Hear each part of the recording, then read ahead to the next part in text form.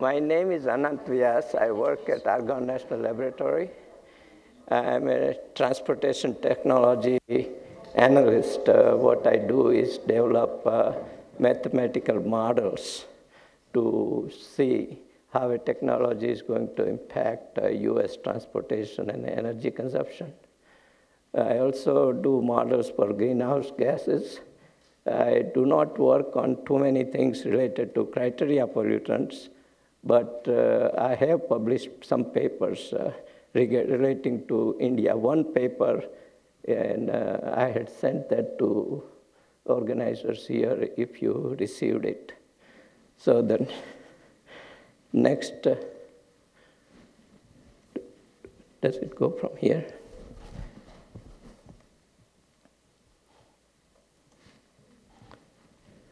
Okay, about India, most of you may know, or some of you might have visited also. It's in the northern hemisphere itself. It's uh, 1.27 million square miles, it's seventh largest country. You know, three large countries are in Western Hemisphere, Canada, US, and Brazil. In Asia, Russia, China, and Australia on the southern hemisphere. The India is the seventh uh, in the square miles. It's uh, at 8 degree north to 37 degree north. It's its mainland. It's like a kite-shaped country. We'll show in the map later. But it has some islands, particularly recently, if you are following the Malaysian airline uh, uh, disappearance, the Indian Navy searched near Andaman and Nicobar Islands which are situated around little south, 6.8 degree, and they are in Bay of Bengal. And it has uh, long coastal, coastlines. It has a lot of, it's the Arabian Sea on one side, Bay of Bengal on the other side, and Indian Ocean at the south. If you consider the mainland, it has 3,800 miles, 900 miles, the, all the islands, they have some in Arabian Sea, some in Bay of Bengal. Indian standard at an art, five and a half hours. Most of them are at hour, but because India's odd shape, they wanted to have only one time, so they put it at a middle, uh, a little east of the middle, and that way it, uh, it is set at five and a half. The Tropic of Cancer passes right here. Right here, it goes just north of Havana, between uh, Key West and Havana, and it's the middle of the country. Actually, that happens to be the where I was born, where the Tropic of Cancer. Uh, half of the country is north of it, and half of it south. And uh, if you look at it, it's the same in Saudi Arabia, Libya, Algeria, and comes and passes through Mexico. This.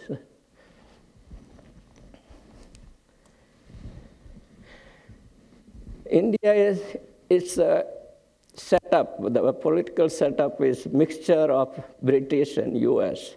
They have states and state governments, but then also they have central government. And I will go in the next slide about this, but right now I just want to point out it has 28 states and seven union territories. Those are the small ones. You can see here, these are the old Portuguese colonies. And then uh, these islands are also Union territory. Then there is this French, French-ruled uh, Pondicherry. It's the French call it Pondicherry. Local people call it Puducherry, but uh, it's uh, it's also a because people are so used to not being with the Indian government, the Union government rules that. So there are seven territories, like Washington D.C., Delhi, New Delhi, which is the, actually everyone calls New Delhi, but local people always call it Delhi because there is no new and old. And that's also one of the unique territory. Uh, population 1.27 billion. So you can see it's a small 1.27 million square mile and 1.27 billion population is a high, very densely populated country. Less than almost 50% of the population is 25 years or younger. And population density ranges from 44 square mile, 44 per square mile, that is in this, uh, this is hilly, this is the Himalayan part, to 2,300, which is the Delhi itself, city. And there are 15 major languages. Uh, that is the main contention because uh, you go from one person goes from one state to other state, the language is different. Unless you have common language like English, or in northern India, almost everyone speaks Hindi, which is the, I think, the third lar- largest spoken or fourth largest, I don't know. It is English number one, uh, Mandarin, Spanish, and Hindi. These are that way. Uh, so Hindi is the very popular language in the northern part from here onwards. Even Maharashtra, which is Mumbai, is a, is a capital, uh, they also speak Hindi, but uh, states here, they are not very familiar with Hindi. Yes. Now, coming to uh, the one slide got missed. Uh, two went out. Oh, okay. Let me see. Page up. Yes.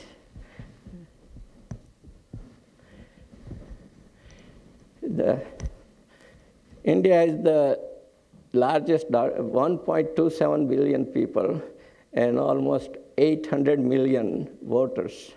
It's the largest uh, democracy. It's a secular parliamentary democracy. So it follows the British kind of system. It is a prime minister and a cabinet. There are two houses. Uh, uh the particular figurehead is a president, like a queen in England. The president and president is elected by member of parliament, which is the House of the People and House of the State and then state assemblies. And he is, the, he is the head of country. They generally serve two terms, sometimes more. The first president served more, longer. All others have stayed 10 years or less. Party with the majority in Lok Sabha. Lok means people in uh, Sanskrit. So Lok Sabha means assembly of people. It, they elect prime minister. The, recently there was an election and about uh, 600, little over 600 million people voted. It took about eight weeks to conduct the elections because they have to stagger state to state and all that. And finally, there was a party which was given a, a majority, and the prime minister was selected, and he has taken office right now. They all selected by popular vote, similar to U.S. Uh, uh, senators or uh, representatives. Uh, there are 536 seats, or 537 seats. So that means they have to have millions of votes to get elected. Uh, uh, the term limit, terms are five years. Everyone is for five-year term. Rajya Sabha, the Assembly of State, which is a, a similar to House of Lords in London. It's not like Senate here because it's a just they, most of the time they stamp whatever the party, people, House of People does, but sometimes they contend and they get it changed. But most of the time, they are actually elected by the state legislators. Each state sends so many delegates to the uh, Assembly of States, and uh, then they actually, this upper house. And each state has a, they call it Vidhan Sabha, means those who create laws, local law, laws. The, that is the state assembly. That also elected by popular votes every five years. But each state has its own assembly. They decide how many members they want to have and all. They have a chief minister, and uh, with his cabinet, he runs the state. There are two union territories, New De- that is the Delhi and uh, Pondicherry, they also elected to have their own legislative assemblies. All other five smaller territories are ruled by central government. They appoint a person to run, And he says, I need so many people, so that is the, the civil service sends them people to run that state. And then they hire local people to do other jobs. You know. Actually, Constitution is modeled after US, England, and Australia. Some items are taken from New Zealand, one or two, but most of them are modeled after the, and it has uh, personal rights, freedom of, freedom of speech. Freedom of speech is uh, almost taken to the extreme like it is taken here in US. Uh, and uh, there are a lot of contention, lot of suits going on, but uh, central Supreme Court really sides with people.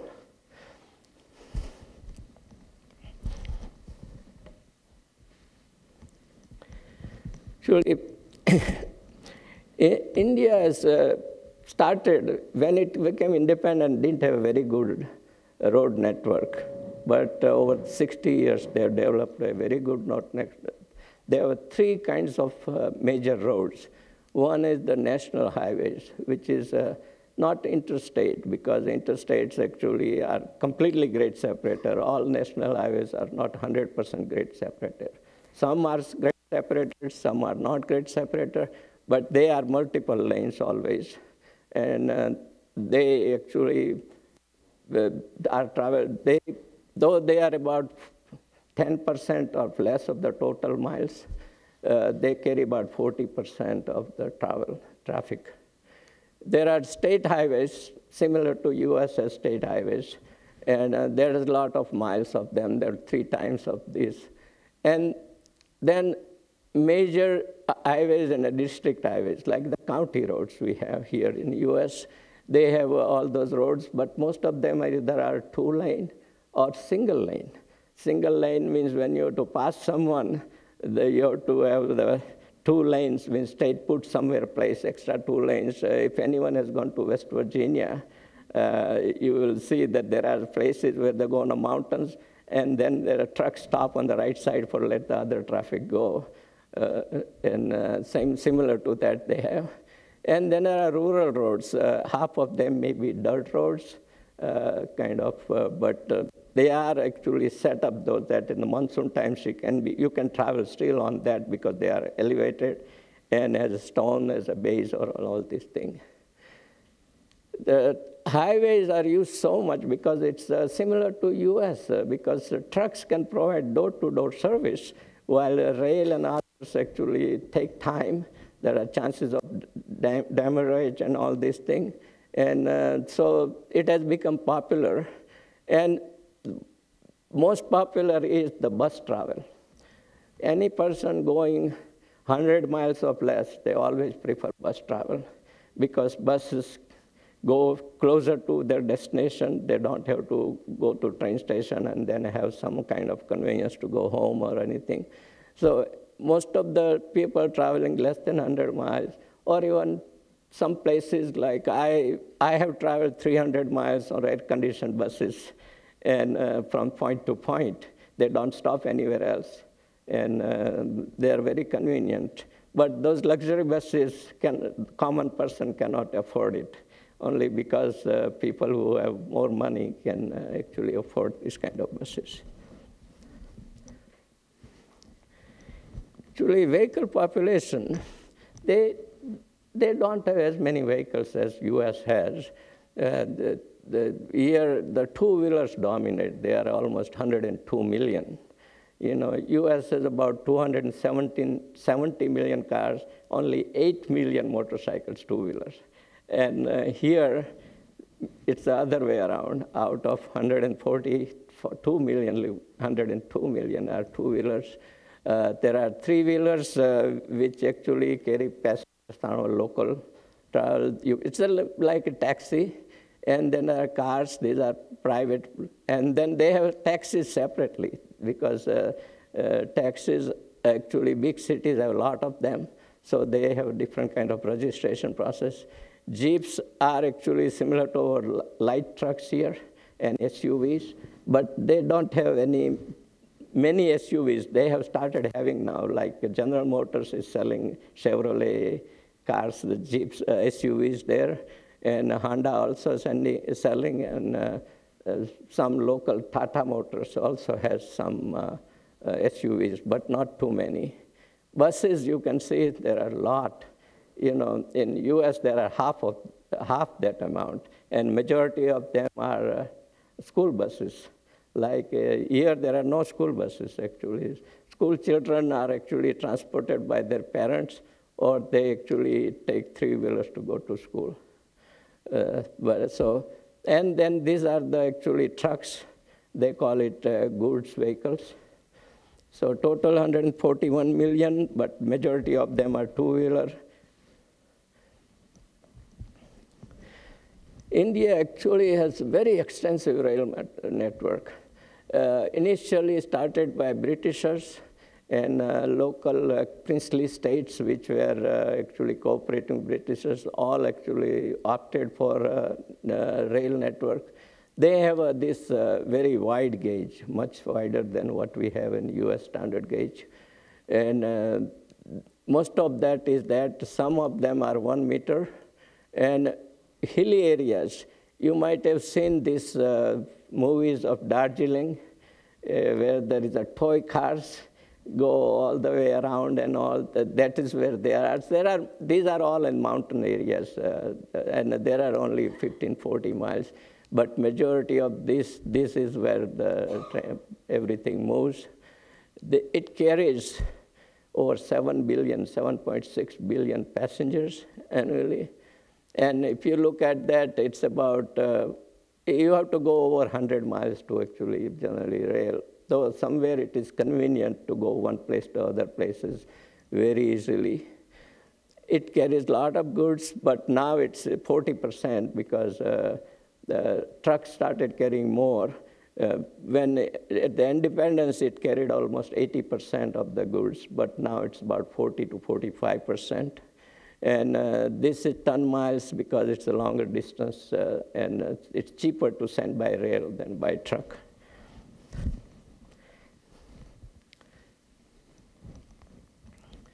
Aviation, actually, aviation, when India became independent, it had one international airline, Air India, and one local airline, Indian Airlines.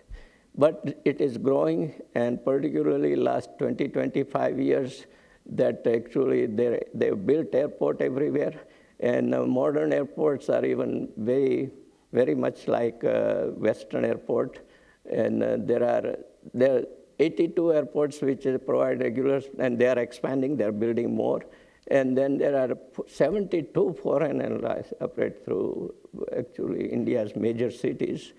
And there are 1360 international flights per week because everyone does not operate every day, but major airlines does, like Continental has one flight every day out of Mumbai. And uh, some other airlines like British Airways and Lufthansa have through New Delhi and Mumbai both. Uh, by the way, Bombay was the British pronunciation, but local people always call it Mumbai. So they changed the spelling of Bombay to Mumbai. Uh, uh, there are three international airlines. They operate this many flights. They that they did not necessarily come to Europe or anything. They go to uh, Afghanistan or uh, Saudi Arabia and uh, Nepal, Bhutan, uh, Thailand, and uh, uh, like Myanmar, but it's Burma, original Burma. And there are 14 Indian airlines, and they 200, 235 million passengers. So aviation is a very growing sector of transportation in India.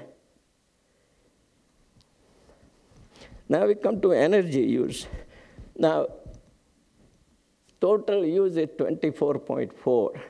Now that includes the electricity conversion losses. While uh, compared to that, United States uses 27 and a half quads in transportation alone. And total co consumption in US in 2010, this is 2010 number, so 2010 was 98 quadrillion BTU. So compared to that, uh, India's energy use very little. It's uh, one, 25% of what U.S. consumes. Uh, industry is the major user. Transportation uses only 2.4 quadrillion, which is equivalent to 8.1 times 2.4. So it's about 19 billion gallon or something. Uh, it's not too much. And uh, electricity conversion loss is same thing in U.S. also. It's one third only delivered as electricity, two thirds is lost, and the same thing here. Now, if you go by fuel type, liquids are 6.6. Uh, majority of them are for transportation, but industry and probably uh, electricity, there's electricity, some remote places, they use diesel generators, so they, they also use this. Natural gas 2.4, it's mainly industry and residential uh, for cooking and northern part heating too. And uh, coal, which is uh, for electricity, 12.6 quads. Nuclear, they have few nuclear uh, generators, but it's not uh, too many. Our Department of Energy projects that they may go five times that in 30 years or so but not too much. Renewables, which is hydroelectric, wind, those are the two, and the third is the wood. That's the northern, particularly Himalayas, there are a lot of trees, and local people all use wood for uh, uh, cooking and uh, heating.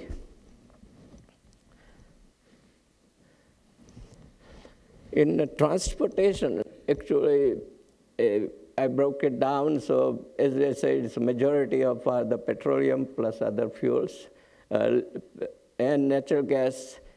Actually, it is increasing natural gas uh, use because the major cities had a pollution problem, particularly the diesel buses and all, they're polluting a lot. So Supreme Court forced local transit agencies to convert all those uh, public to natural gas and uh, it is becoming popular. It's mainly up to the state to force uh, natural gas use. And uh, all major cities in uh, state of Gujarat, where I come from, anyone over one million, uh, they are forcing all the three-wheelers to go to natural gas because they were initially two strokes. Uh, local environment protection, their local state countries agency forced them to go to four, four strokes so that uh, actually the pollution went down. And now they are actually forcing them to go to natural gas. And uh, electricity use in uh, this is mainly railroads uh, in transportation.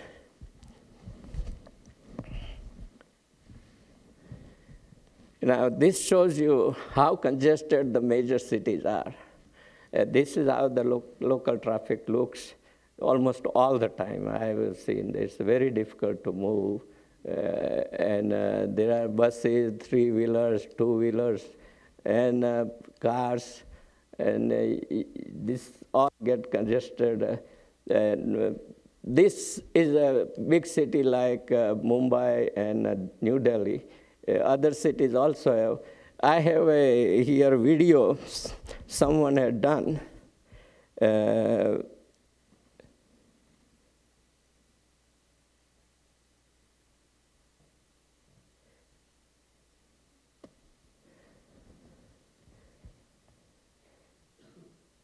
uh, not playing. Should be playing I, once I got it. Oh, okay, yeah. Now you will see how they actually move. There, there are, you have to be there, close your eyes.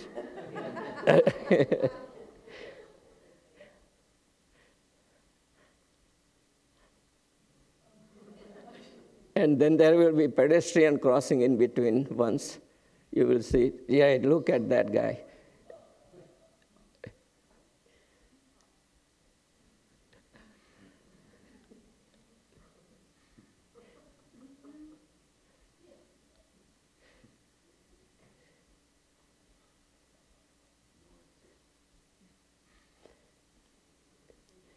But everyone is very patient.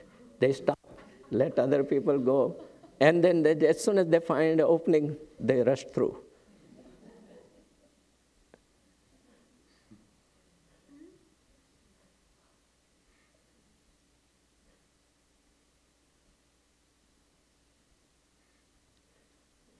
This the that's it. Uh, though it, uh, I'm still working at Argonne, but I have uh, retired, and this is my last year. Uh, so beginning next year, I will be home most of the time. Any questions, I'm willing to ask, answer. that video is amazing. But, yeah. but how? What what are the what are the accident rates? Accident rate is very high.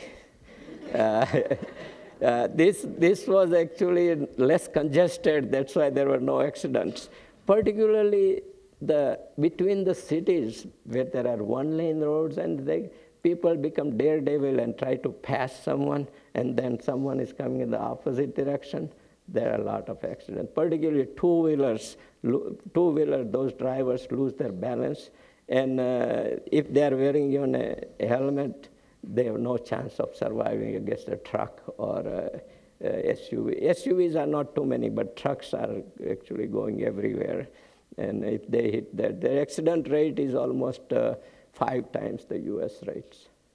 U.S. rate, though there are less vehicles, so it is per uh, 1 million uh, vehicle miles of travel, it's almost five times.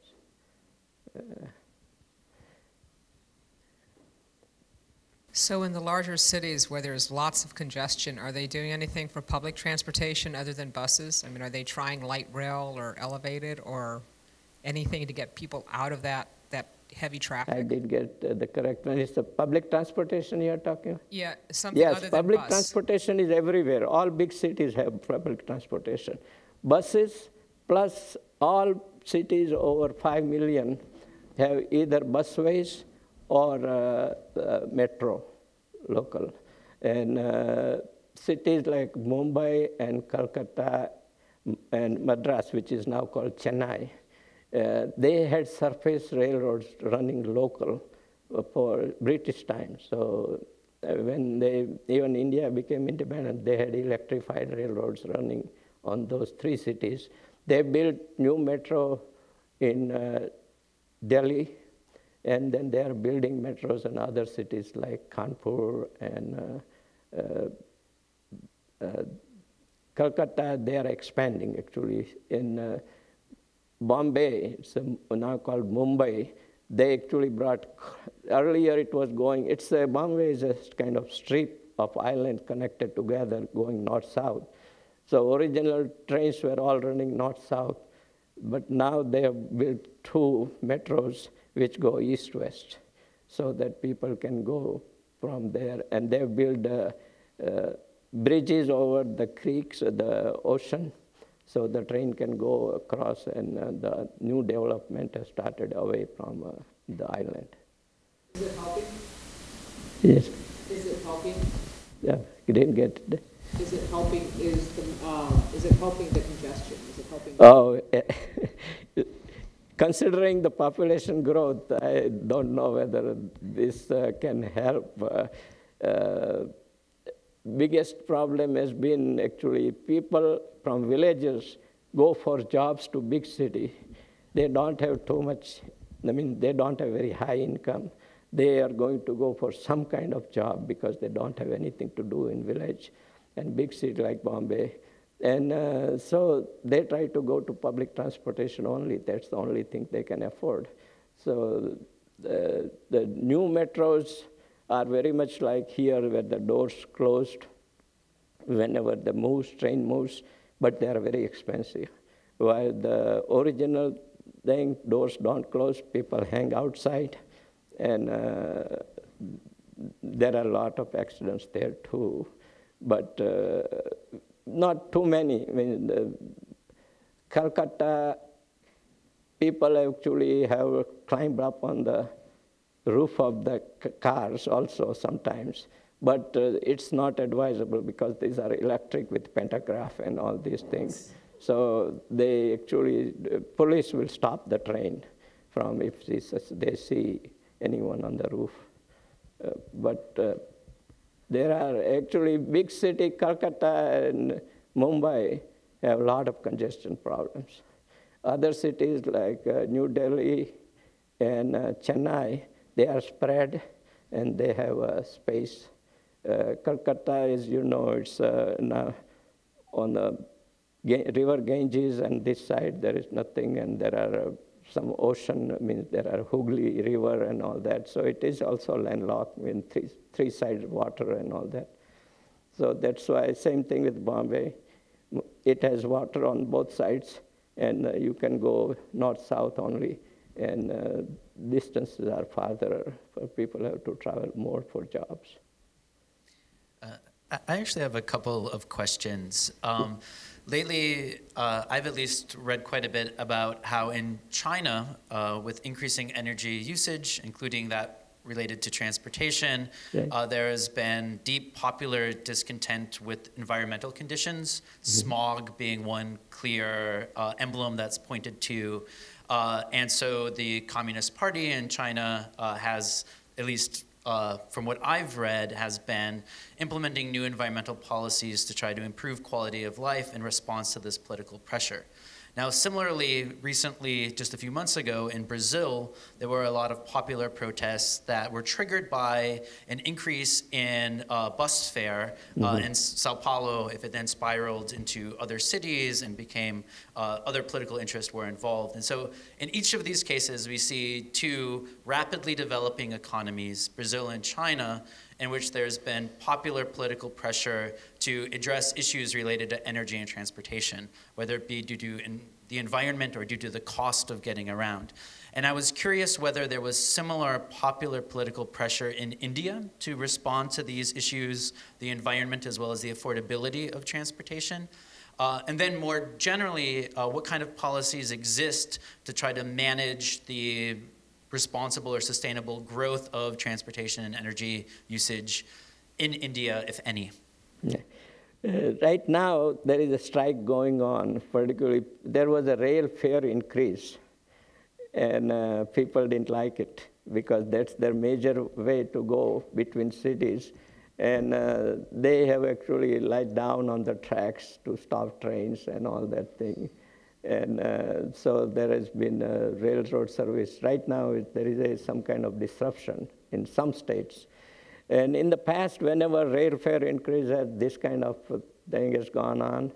And uh, accepting a major line, it has affected the maintenance of the tracks and uh, the structure and the bridges and all that.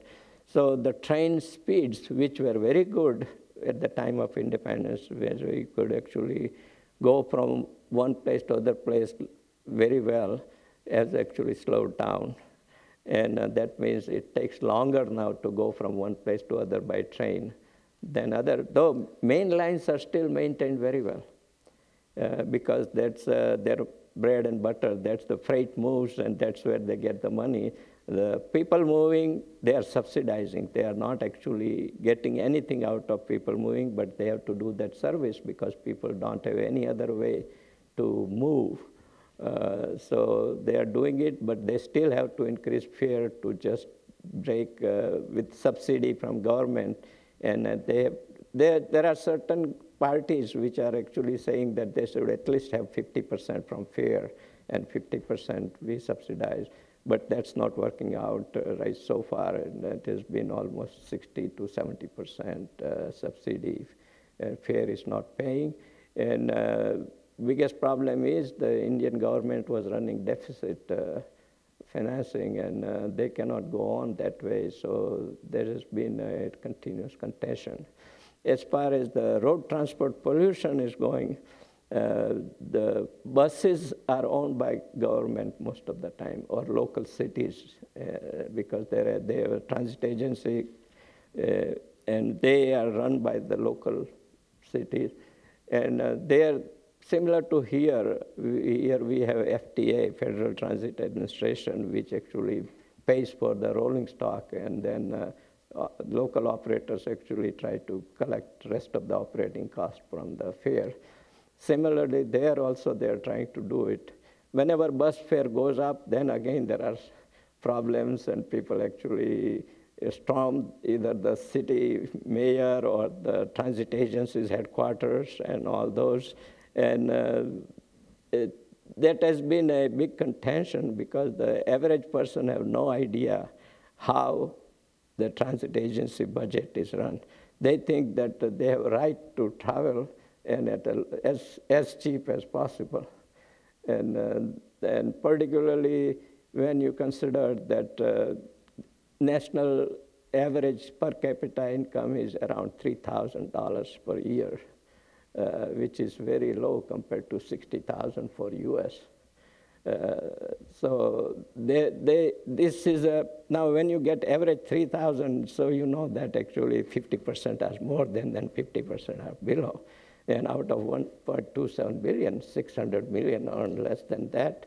They, they are the one who are using public transportation. When we have the higher, they can take cabs or they can uh, actually have their own cars and all that thing. So there has been a big uh, uh, local government and uh, particularly politicians are very wary of because that's their base, uh, particularly these people. And uh, they want to actually get their votes, so they actually, it continuously goes back and forth. Uh, and uh, uh, so far, people have won because it's politicians want to throw something to them and get their votes. That's when. though in this last election, uh, what happened is actually the person who was actually, the, there was a party, Congress party, which was in power for 10 years, and they actually created a lot of uh, giveaways for the people, this and that and that. And this new party which came into power, his head, he said, this is not the way to live. This, we can't go on like this. And he kept on saying that that we should stop all this give giveaways, let people work hard. You have to earn your living. We can help you. We can try to get you a job. But this, and he won. He got this uh, majority. And uh, so there has been some change, but uh, most of the analysis I've read is it's only the middle class which was fed up because they were su supporting the lower caste, and they, they are the one who vote. The poor people don't vote as many. So that's why this person goes on. Now, if we can't deliver that in five years, next five years you'll be out. So that's As you describe these various sectors, we can see that the energy use in India would still be comparatively low compared to some other countries. And I was just wondering how fast do you think that is going to change? At what point would this very large population be using quite a bit more energy? Yeah, actually, uh, the energy, there is only the northern states require heating energy for a household. So it's only residential energy is all cooking, uh, not any other that. So transportation is where the movement, mobility increases. So as people become prosperous, transportation from 2.4, projection is that it will go almost four times that by 20, uh, uh, 2040. Uh, and uh, electricity use is increasing. Electricity use increasing mainly because the villages are being electrified and uh, the rural electrification is really increased. Uh, different states have different rates because it's only state government which does most of the electrification, rural electrification. So states which are very well to do, they almost 80% to 90% electrification rate. Those are are not well to do, it's around 50 to 60%. So that is going to go, eventually it will become 100%. And so electricity is where the coal and natural gas are used. And uh, uh, wind is actually, hydro and wind are the renewable, which is the electricity uh, being used. So that is going to increase. It's likely to be almost three times what it is right now. And if the industry expand, start producing more and more, they also require more energy. So our uh, Department of Energy does international energy uh, outlook. And uh, they have projected from 24.4, they will go almost uh, 60 by 2040. Um, So you have plans to increase the transportation? Because it seems like there is a huge gap between the 1.27 billion people and roughly 141 million vehicles. Right. So is that a growth area? Well, two-wheelers are growing very fast, and that is the local people can afford it. The bicycle also is uh, heavily used, but it doesn't figure in uh, environmental energy and environment aspect.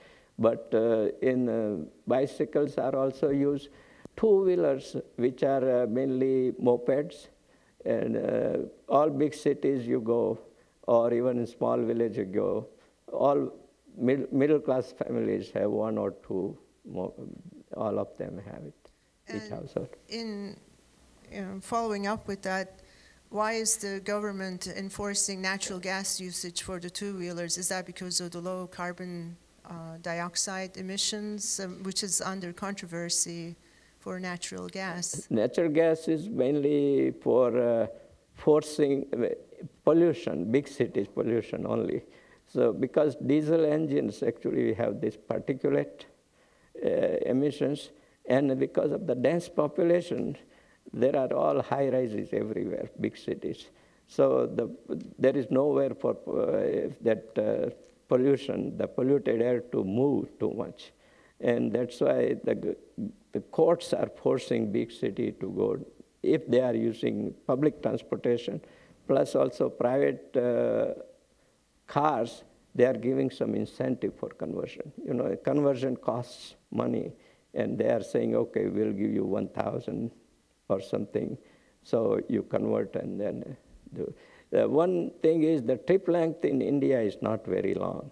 People hardly go 10 miles for any other thing. It's a similar, it's not too long, uh, very far. While here we go 40 miles very easily, anywhere to go. And um, most of the people here, uh, average per car, it's almost 11,900 miles or 12,000 miles a year. While in uh, India, for uh, even if you own a car, it's about 3,200 kilometers per year, so 2,000 miles a year. That's the very low. Buses are the one, the paper I had sent, uh, we have in there the miles people drive. Buses are driven more, trucks are driven more, but still, they, uh, trucks here, uh, the particularly the semis big and which are new, they go 1 million mile a year here in US, uh, going from city to transporting regularly. While in India, they may be going 25,000 miles a year. So 1 million 25 is a big uh, difference. Uh, uh, so there, there, there is uh, goods even when they move, they do not move from uh, one end of the country to other end of the country. If they are going from one end to other, rail.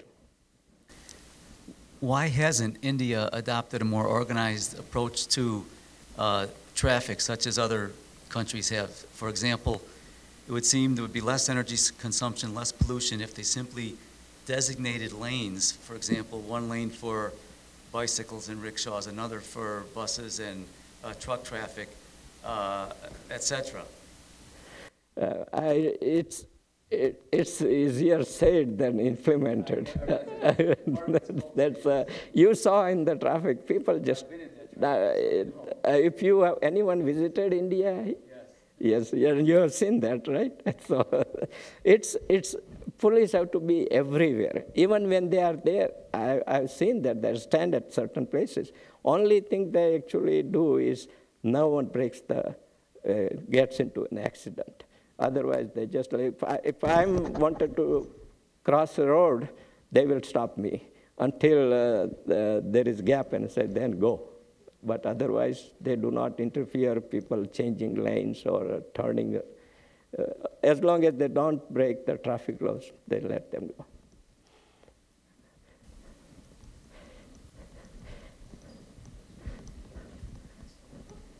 Uh, you, you mentioned a couple times about subsidies, government subsidies. Uh, what's the uh, source of funds for governments in India? Is it, is it um, income tax, property tax, value-added tax? Right. That would All have of, some. uh, property tax are generally for the local governments, but there are value-added tax. VAT, have you heard of VAT? VAT is the major source. Plus, there are other taxes, user taxes, and uh, uh, like uh, government actually does uh, taxing on uh, each corporations and all that thing. And uh, that's where the industry and they pay majority of tax. Individual income tax also is fairly high rate, but it's only for uh, people who earn beyond certain limits. So middle class and upper class pays income tax. Poor people don't pay, most of them. So, so it seemed like then so people would be laying down on the tracks in some ways because they feel that they've already paid for some of their travel, and Right. so they pay taxes. And so, in some ways, there's a connection between. Yeah, but it's not free, see, in other words. Poor people don't pay. The middle class pays taxes, and uh, poor people are the one which are actually demonstrating because they cannot afford the increase of fare. and uh, that's that's goes on particularly. Uh, in India also similar to here, we have certain threshold beyond that, you, uh, below that you don't pay tax. There also there are a lot of cash economy. That means if you actually are doing, someone comes to your home and does work, you pay cash, and then that's the no track of that. So that's what goes on.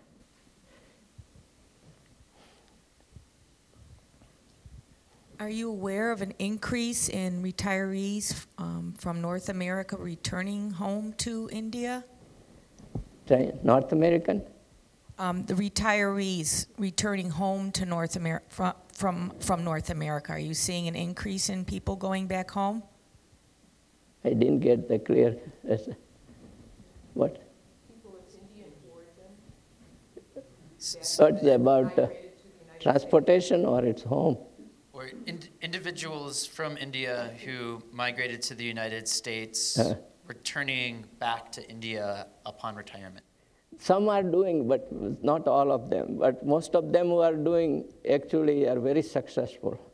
And they have actually started some kind of industry there or some business there.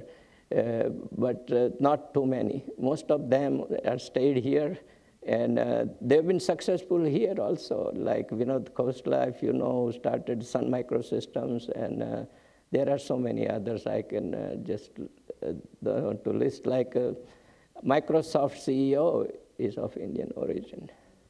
Uh, there are so many others, uh, uh, but they mainly biggest problem is that I, I wanted to go back, my kids don't, didn't want to go back, and then what's the, what do we want to do? Uh, we have a lot of friends who are all retired and say we want to go back, and kids says no way, we are not going to go. We have grown up here, and we only country we know is this. So that's why no one is. Very rarely. Some have gone back. I won't say they have not gone back. I have two friends who have gone back and successfully started and started business there. I, I have uh, an, another question, and it's this. Given the projected increase in both the uh, amount of energy used in transportation, but also in other sectors in India, would you have specific recommendations to make for the responsible or, or sustainable development uh, of energy to satisfy these growing They, needs? they- they're really trying. There are uh, two, three organizations there. They are actually working on uh, pollution, uh, reducing the energy use, and also reducing the greenhouse gas emissions. Uh, they actually, local people, local uh, education level particularly is very high. If you know, certain state has 98% uh, illiteracy rate, and um, uh, most of the middle class uh, kids all go through college, and uh, there are a lot of PhDs and a lot of that. So they really know what to do. Uh, the resources are the mainly problem, and uh, politicians sometimes get in the way. These are actually technocrats. I mean, they are actually know how to do technology, but uh, politicians say because their base is, doesn't want this to be done or doesn't want that to be done. If you remember here, there is a CTA is going to change their line and they want to raze certain houses. There has been a lot of resistance for that. And the same in India, actually, they actually, they, anything else, they actually have a big procession and easily 2,000, 3,000 you can easily get to come out in procession. And uh, if it is a very serious issue, you can get 10,000 or 100,000. Uh, I wanted to also just offer uh, a couple of comments, especially to uh, uh having in mind our uh, audience of educators, yeah. where looking at the video that you yeah. offered us, which really was so attention grabbing and remarkable, right. I couldn't help but think of how it could be used in classrooms to teach a number of different lessons. I think even the most dyed in the wool Montana libertarian um, would see this video and recognize the value in having some regulations to right. uh, govern the use of public space. Uh, right. Uh, and when you added the information that accidents rates are five times greater than the United right. States, there's clear evidence to recommend uh, the, the existence of some regulations to govern the use of public space they, in this particular way. They actually way. have regulation on paper. The implementation is not that great.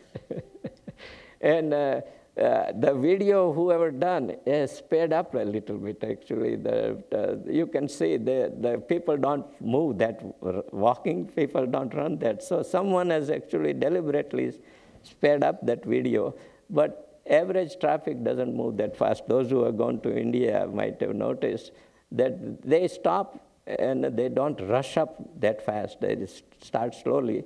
But there are people are very, very uh, means careful, they want to avoid, but majority of the accidents happen at intersections or when someone tries to pass someone. That is a major thing. But in, even with that, that yeah. caveat given, uh, yeah. it, it seemed to me that uh, one could easily, or one could imagine leading students through a calculation of the costs of, say, travel right. uh, and the ways in which regulations work to reduce or at least distribute those costs. So, if one cost of travel is the propensity of an accident, we mm-hmm. can see how that cost can be lowered. That is, the propensity for an accident can be lowered through some sorts of regulations. But even just thinking of other sorts of regulations related to pollution and the environment. So these days, I know I need to take my car in for emissions testing here in the state of Illinois because it was recognized that emissions from automobiles due to the combustion of gasoline has a cost that we all have to pay right. in terms of the air we breathe, its effects on our health, more general environmental repercussions. And it seems to me, while students in a classroom may be less keen on thinking about automobile emissions, um, mm-hmm. you show a video like this, and you have an opportunity to get them interested in things like automobile emissions because seeing the uh, risk of accident, so uh, marvelously demonstrated here, I think be, can become a stepping stone to broader lessons about how to govern uh, the costs of something like transportation, whether it be the physical risk to our bodies in terms of moving, or uh, a less immediate risk of health consequences of emissions and things like that. And so I thought it was really artfully demonstrated in, in, the video. But, uh, you know, it's much easier to, uh, those vehicles control they already have Euro 2 standards. If you, uh, the paper we published, uh, Salil was the major writer. He did a lot of work on that. He actually went to India because he could not get much information here and met with the, the auto agencies and all, collected a lot of information. And uh, he was the major contributor in that. Uh, he left Argonne and is now working with Archer Daniels because he can make more money there. so, but it, it, that's where we are actually saying what kind of standards are. It's very easy to control the manufacturers because they enforce that before you certify you can sell this vehicle, it has to meet their center. But the biggest problem has been actually that accepting the bigger metro areas, anything about, say, 1 million or all, the other areas, the maintenance actually brings the pollution up. And uh, there, the government has no way to tell uh, that uh, any population center over 1 million has the m- mandatory testing requirement. And then just uh, finally, uh, a final comment by, by way of a thank you.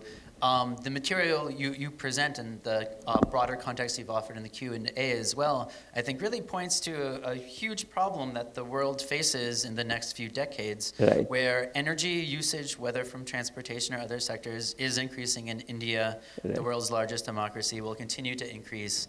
We see it in China, we see it right. elsewhere in Asia, Southeast Asia, in Right. Brazil and Latin America. And so when we see images of traffic jams Traffic and think jam. about the consequences, they're not merely theoretical questions, No. uh, but ones that uh, have huge impacts for people who live in those countries and in those cities, but for all of us. Right. So, Actually, I, eh, where actually where there is a joke going on among all the non-resident Indians here is say all the ath- ath- atheists should be sent to India, and they will know God exists.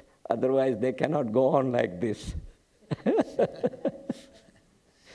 so please join me in thanking uh, Mr. Vyas. Yes. Thank you. Thank you.